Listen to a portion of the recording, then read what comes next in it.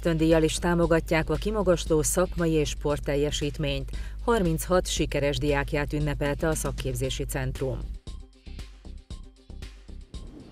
Egy hónappal korábban kezdődött a pipacsvirágzás. A látványos gyomnövények veszélyt is jelenthetnek a termőföldekre. Felolvasóest vonós muzsikával. Napló részletekkel emlékeztek a 180 éve született Munkácsi Mihályra. Köszöntöm a Vásárhelyi Televízió nézőit, a híradót látják, Borbás Ildikó vagyok. Nem szeretnének a pártpolitika zsákutcájába befutni, inkább a lokálpatrióta szemléletet támogatják, és így fejlesztenék a várost, mondta Krupicer Ferenc, a Kőfal Egyesület elnöke kedden a Vásárhelyi Televízió választási műsorában. Hódművásárhelyen, de bármelyik település is mondhatnám, nem a pártpolitika a fontos, sőt, egyáltalán nem kellene, hogy megjelenjen. Hiszen ahhoz, hogy egy járdat felújítsunk, egy könyvtárt felépítsünk, vagy bármilyen képletet felújítsuk, ehhez nem kell pártpolitikusnak lenni. Ehhez lokálpatriótának kell lenni. És a városban kell megoldani azokat a kérdéseket, amik a város fejlődését szolgálják. Szerintem itt teljesen elfelejtetjük a, a politikát. Hogy kiktől várjuk a szavazatokat, azt gondolom minden olyan lokálpatrióta embertől, akik ezekkel a gondolatokkal egyetértenek. És én azt kérem mindenkitől, hogy felejts el a pártpolitikát. Éppen eléggé túl van politizálva az egész életünk most már sok tíz éve, legalább 15-20 éve túl politizált a világunk. Azt gondolom, hogy felejtsük el egy kicsit, és gondolkodjunk csak a városban. Gondolkodjunk a város fejlődésében. És minden olyan ember szavazatára számítunk, aki, aki ezekkel a gondolatokkal egyetért. Amikor a népi kultúra nyitotta lehetőségek kiválóan használhatók a készség és képességfejlesztés területén is, jelentette ki a belügyminisztérium köznevelési helyettes államtitkára kedden Hódmezővásárhelyen. Balatoni Katalina Német László gimnázium és általános iskolában rendezett szakterületi módszertani napon tartott előadásán azt mondta, a gyorsan változó világra az oktatásnak reagálnia kell. Ma már sokkal nagyobb részt tesz ki a fejlesztés a pedagógiai munkából, mint korábban. A népi kultúra erős identitással ajándékozza meg a gyermekeket, amely az egész életük során elkíséri őket, közölte a helyettes államtitkár. A két évtizeden át néptáncpedagógusként is dolgozó, az Így Tedrá programot megalapító politikus kifejtette, a mondókák, a népi játékok és a néptánc a paraszti kultúrában hozzájárult a gyermekek személyiségfejlődéséhez. Ezek mai alkalmazását javasolta Balatoni Katalin. Vannak, akik szakmájukban emelkedtek ki az országos mezőnyből, mások a sportágukban utasították maguk mögé a magyar mezőnyt. A Hódmezővásárhelyi Szakképzési Centrum 36 olyan kiváló tanulóját díjazta szerdán, akik az elmúlt hónapokban országos versenyeken remekeltek. A fiatalokat egy közös ebédre invitálták és ajándékot is kaptak, de a legjobbakat ösztöndíjjal is támogatja az intézmény. A Hódmezővásárhelyi Szakképzési Centrum 36 kiváló tanulója állt össze egy közös fotóra szerdán az egyik belvárosi étteremben. A centrum vezetése az országos tanulmányi, szakmai és sportversenyeken kiemelkedő diákjaikat invitálta meg egy közös ebédre. Tóth Rita például hazánk második legjobb hegesztője lett. A kezdeti lépésekben azonban meg kellett küzdenie a sztereotípiákkal. Igazából elején olyan fura volt, ugye a fiúktól éreztem, hogy hú, hát ez lány. Aztán úgy megbarátkoztunk, mintha mi se történt volna igazából. Ahhoz, hogy a fiatalok megállják a helyüket az iskolában, és azon kívül is gyakran lemondásokra van szükség. Kis Noel úszóként sorra hozza a nemzetközi versenyeredményeket, és ehhez egy szigorú napi rutin tart be. Egy napom ö, reggel 5.30-kor felkelek, elmegyek edzeni 8-9-ig, utána bemegyek suliba, kajálok egy kicsit, ha lehet, és háromra visszamegyek. Háromtól ötig szoktam úszni. Utána meg tanulok, vagy, vagy megyek személyedzőhöz.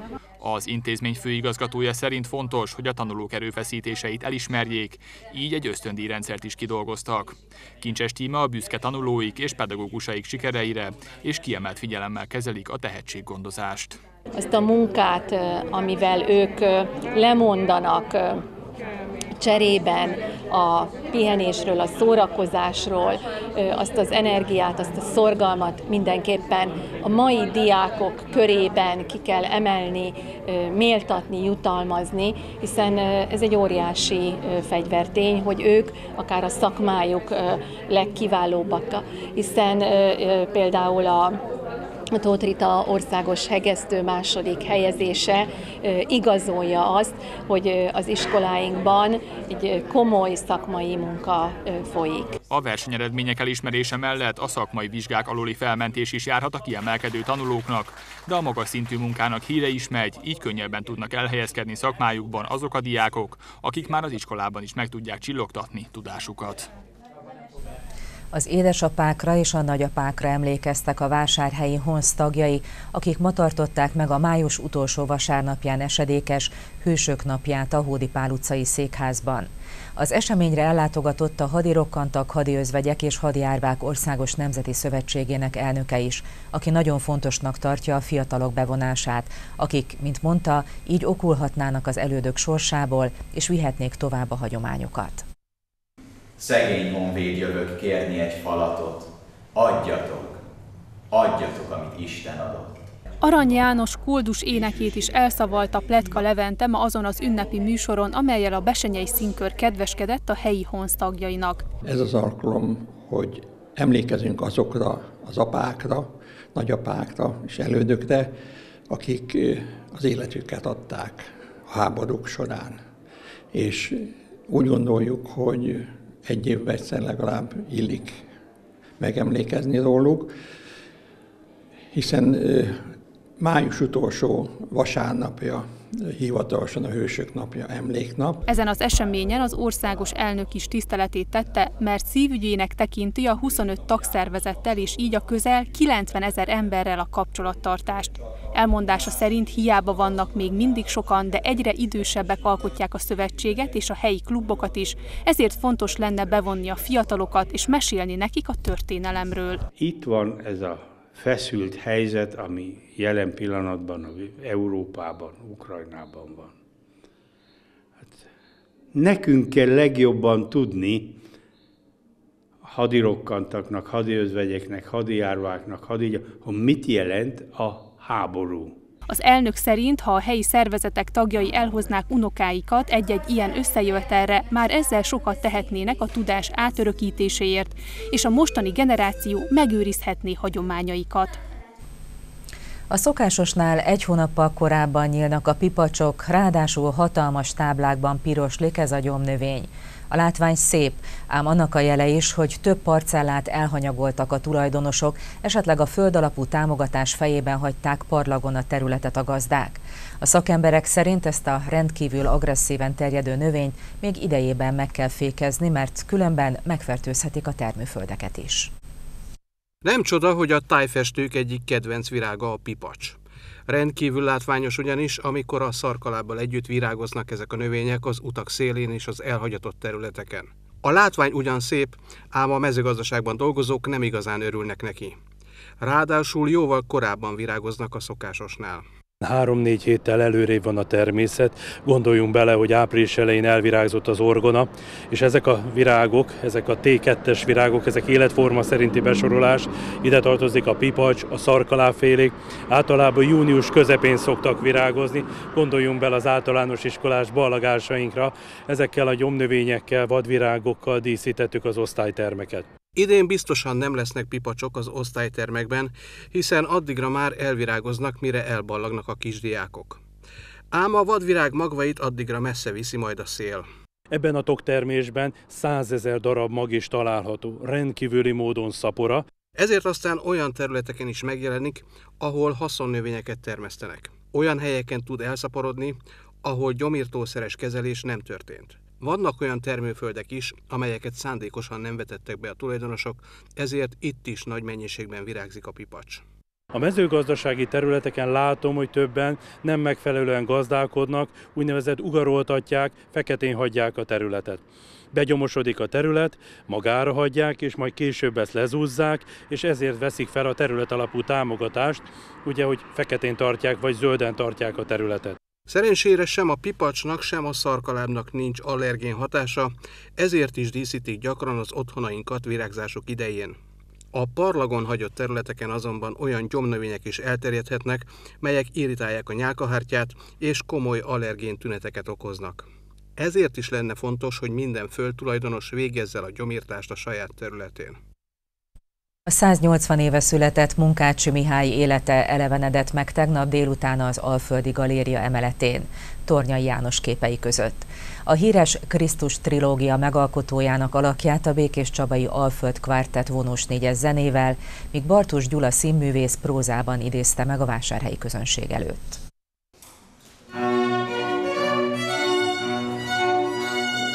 A realista ábrázolásmódról ismert Munkácsi Mihályhoz elsősorban klasszikus és romantikus művek illenek az Alföld kvártett szerint, ezért a vonós négyes ezekből válogatott az Alföldi Galériában rendezett esten. Az Alföld kvártett Békés Csabáról eh, érkező zenei együttes. Békés Csabán ugyanolyan nagy kultusza van Munkácsi Mihálynak, és ehhez szerettünk valami is kapcsolódni, ehhez szerettünk valami is zenei vagy ilyen összművészeti értéket adni. Innen ered a gondolata annak, hogy eh, zenében is és szóban is egyszerre is bemutathassuk Munkácsit. Apró embereket rajzoltam, ez volt minden. Két hosszú vonal jelentette a lábat, egy kör a testet, rövidebb vonal a nyakat, kisebb kör a fejet, és az emberke széttárta karjait, mint minden gyerekrajzon, ezt lehet. A történet mesélés tartva a kronológiát a gyermekkortól indult, amelybe belekerültek a békés csabai asztalos inas évek, majd megismerhettük a már kiforrott festőművészt, annak párizsi korszakát, eljutva egészen 1900-ig a mester haláláig. Munkácsi napló részleteit a Békés Csabai Színházhoz kötődő Bartus Gyula tolmácsolta a vásárhelyi közönségnek. Nagy tisztelője volt a, a női nemnek, és egyáltalán szerintem az életnek. Tehát tehát olyan fenségesen, olyan, olyan szeretett központúsággal nyilatkozik mindenről, hogyha ezt az ember elolvassa, ezt az Emlékeim című könyvét, ő az, az, az, hogy neki ilyen sanyarú sorsa volt, ő azt meg is bocsájtotta. Tehát, tehát ő azt nem rotta föl, azzal nem kérkedett a regénybe. Ő csak elbeszélte, hogy minden keresztül, miről szóltak a küzdelmei adott esetben, és hova fejlődött ez, ez, ez, ez a tanulási vágy, ez a, ez a repülési vágy, ami, ami az ő életét végigkísérte. Munkácsi Mihály nagy hatással volt kortársaira, így Vásárhegy híres alkotójára, Tornyai Jánosra is, akinek festményei adták a díszletet az őszművészeti produkcióhoz. Az utolsó előtti fordulón is túl vannak a magyar férfi vízilabda bajnokság második vonalában a 2023-24-es szezonban. A 14 csapatos OB1B mezőnyében a 12. HVSC a bajnokság stabil középcsapatát, a 8. Angyalföldi Sportiskola együttesét fogadta a Gyarmatiban. Szezonbeli 25. bajnoki mérkőzésére készültek a HVSC polósai, akik a medence szélén előbb mesterük Barna Tamás, a vízben pedig már csapatkapitányuk Csilkó Márton utolsó kezdés előtti intemeit hallgatták. Nem indult jól a találkozó. A vendégek alig 30 másodperc elteltével Juhász révén már be is vették Molnár kapuját. Több mint három és fél percet kellett várni, míg a HVSC egyenlíteni tudott. Nagy Benedek úszott meg és biztos kézzel értékesítette ajtóablak helyzetét. A negyedet végül előnyel záratta a hazai gárda, kell használta ki az Emberfort, és alakította ki az első 8 játékperc 3-2-es végeredményét. A második etap asi találattal indult. Simon pókálózta le balos bombájával a hazai kapu jobb felső sarkát. Vígcsanát távolról megresztett lökete a kapufáról vágódott a vendégek kapujába, így újból egyenlítettek a sárga sapkások. 4-4. Simon Balázs harmadjára is eredményes volt, ezúttal büntetőjét értékesítette nagyon magabiztosan. Összesítésben 5-4-es asi vezetéssel cserélhettek térfelet a csapatok. A harmadik játékrész 7 találatot hozott, kettő és félel a negyed vége előtt Szilvasán emberelőnyből szerzett találátával, még mindig a 13. kerületieknél volt a két gólós előny, 6-8. Mekkel harmadik találata indította be a HVSC gólsorozatát, Előbb 8 hétre sikerült szépíteni, majd 15 másodperccel a negyed vég előtt Bárándi a kapus feje felé lőtte be a HVSC 8. találtát, így 8-8-as állással fejeződött be a 24. játékperc. Az utolsó negyedben másfél percnyi játék után Sporni Armand emelkedett ki gyönyörűen védője fogságából, és húzta be a kapupa csapata 9. gólját. A hazaiak 4 0 rohamának utolsó találta Mekkel Máté nevéhez fűződik, akit negyedik góljában növelte kettőre a hazai előnyt. A végére maradt még egy vendéggól, a vége azonban 10-9 arányú HVSC siker.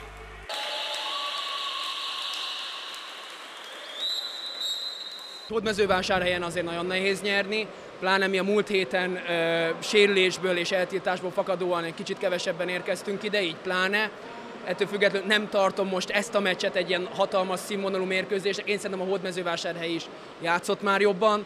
A végén koncentráltabbak voltak, mi elfogytunk fejben, elfogytunk fizikálisan. Nagyon jó volt végre nyerni egy olyan mérkőzést, ahol egy, volt, egy gól lett közte, és sikerült nyerni. Tehát ez volt az első egy gólos, nem csak győzelmünk, hanem úgy ámblok egy gólos mérkőzésünk. Azt gondolom, hogy védekezésben ö, helyek közel azért nagyon jól megoldottuk, és támadásban rengeteg helyzetet kialakítottunk, forrokat, amit ugye belőttünk tizet, vagy lőttünk tíz gólt, azért még kellett volna egy kicsit.